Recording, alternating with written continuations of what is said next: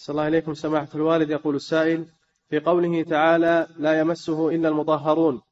يقول من يقول بعض العلماء إن المراد بالمطهرون في الآية الكريمة الملائكة ولو كان المراد اشتراط الطهارة من الحدث لقال المتطهرون فما يا, يا أخي بينا هذا قلنا هم الملائكة لا يمسه إلا المطهرون